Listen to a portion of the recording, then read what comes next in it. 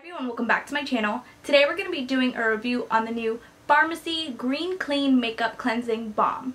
If you do want to see a review and a demo, please keep watching. If you are new to my channel, I would like for you to hit that little subscribe button right here so you can be notified when I do upload a new video. Thank you guys so much. I have reached over 500 subscribers on my channel, so there is going to be a giveaway coming up soon. It is the giveaway that you guys have been waiting for for the longest and without further ado let's jump into this review. The product that I did pick up two days ago it was new online um, at Sephora.com it was in their just arrived section so I decided to pick this up and I wanted to test it out on camera for you guys to see how this works out. A nourishing cleansing balm that erases makeup and gently lifts away impurities caused by pollution. It leaves the skin hydrated and silky smooth. You open up the box right here let's see what we have. It has this decorative inside. This is what the tub looks like. Let's see what it looks like when we open it up. Inside of the tub, you have this green texture inside. Scoop a generous amount with the spatula, then use fingertips to massage into the skin with gentle upward and downward circular motions. Rinse with a splash of water or wipe off with a warm, damp washcloth for ultimate comfort. Just going to scoop some with this little spatula here out from the tub like so. I'm going to take this much out from the tub. Let me just tie my hair really quickly. And I pulled my hair back with a hair tie. And again, I'm just taking this little scoop. We're going to see how this dissolves and removes my makeup. So I'm going to try to warm up the product in between my hands. We're just going to apply it on my face. Green Clean instantly melts into the skin, dissolving away makeup and pollution residue. Even the boldest eye makeup and sunscreen applications are easily removed.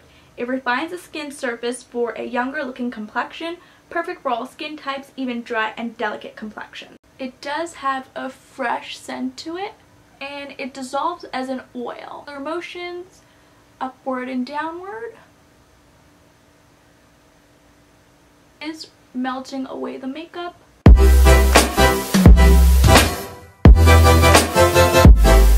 See if it removes my eye makeup. So far so good. So I feel like I am a little bit oily with this balm and it is kind of working. It's melting away the majority of my makeup.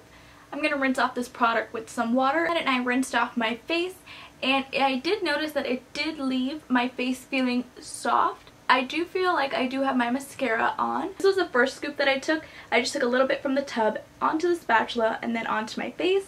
So I'm just going to scoop out some little bit more. I'm going to try to work this in again. So it doesn't have like harsh smells or anything when you first put it on but and it quickly does dissolve into an oil product I don't really like putting oil on top of my oiliness because even though if it's a cleansing balm or something like that, I still don't like it. So to the eyes.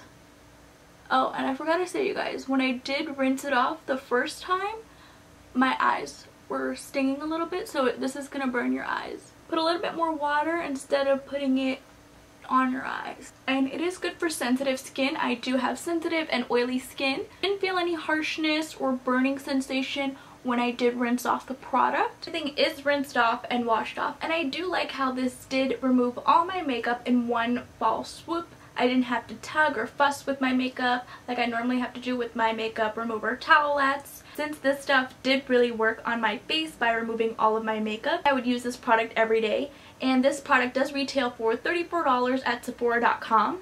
It's exclusive. I don't think this is sold in stores. I checked at my Sephora and my Sephora did not carry this particular item but they do carry the Farmacy brand. So if you guys did enjoy this video, please go ahead and give it a thumbs up and I will see you guys in my next video.